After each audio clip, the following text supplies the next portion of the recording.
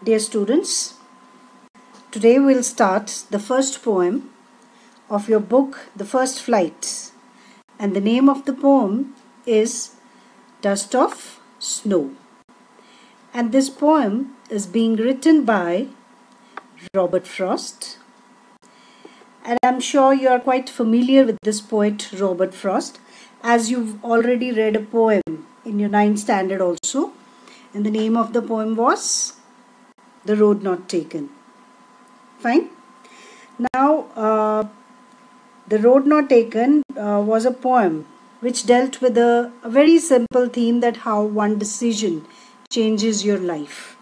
And in the same way, this poem also deals with a small incident and it shows that how that small incident can bring a big change in your life.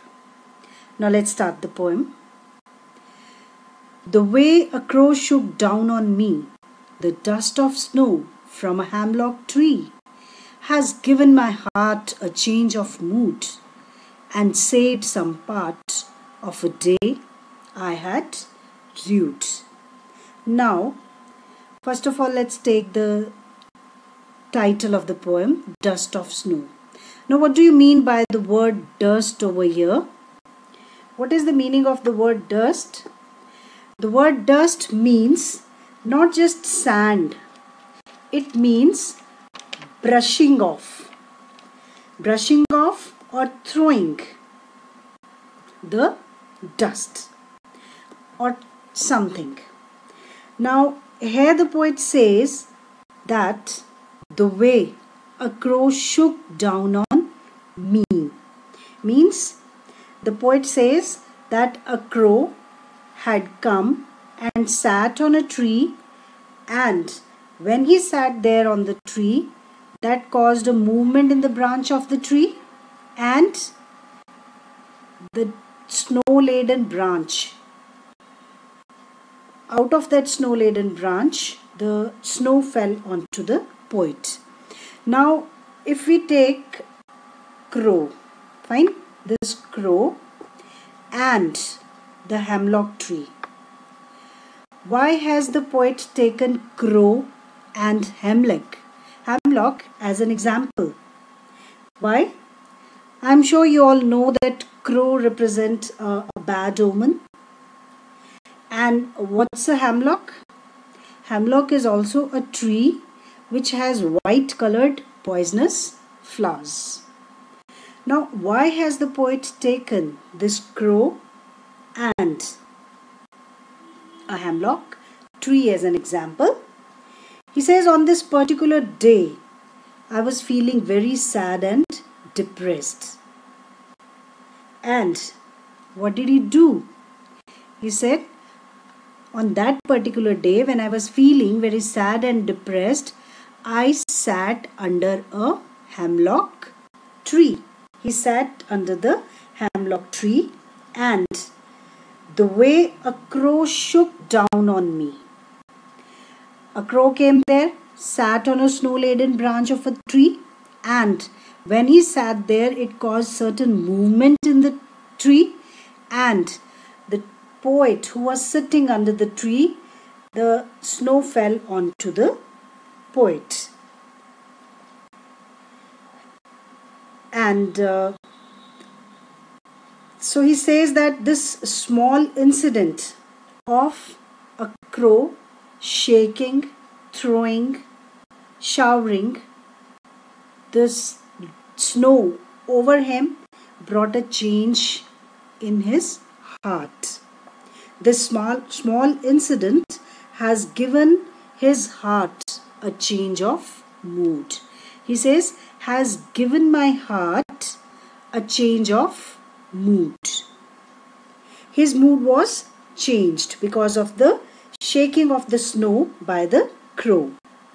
And he says, and saved some part of a day I had rude.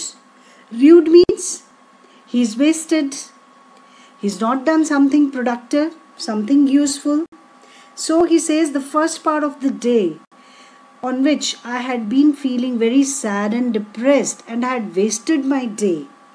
But the day that was left, it was changed into a productive one, a happy one. Why? Because the crow had come there on the tree, had shaken a snow laden branch, and that snow fell onto the poet and the poet who was feeling very sad and depressed throughout the day felt that there was some change of mood in his uh, heart and he felt a little light. He was no longer sad and depressed. So he says, and saved some part of a day I had rued. Rued means wasted. So he says some part of the day that was left that was not wasted by that small incident of the crow shaking the snow laden branch. Okay, now let's come to the poetic devices used in the poem. So it says, The way a crow shook down on me the dust of snow from a hemlock tree do you see any punctuation mark over here? The poem started with this first word the and it ended here to the last word root. So what poetic device is this? This poetic device is known as enjambment. Fine. It is known as enjambment. Enjambment means when the poet starts a sentence and he does not use any punctuation mark in between and it continues maybe to the next line or to the second or the third line then that poetic device is known as enjambment. Fine. So the poetic device used here is enjambment. And now the rhyme scheme. What is the rhyme scheme? Here the word crow rhymes with the word snow. And me rhymes with the word tree. So the poetic devices used here, uh, the rhyme scheme used here is A B.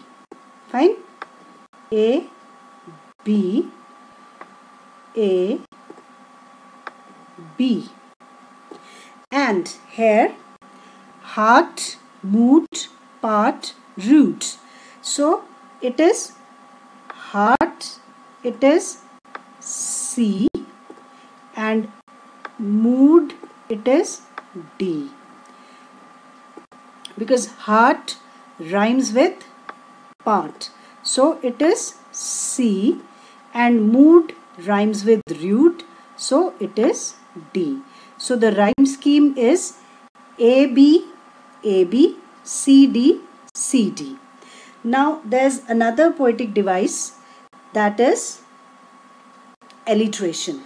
Alliteration is has heart.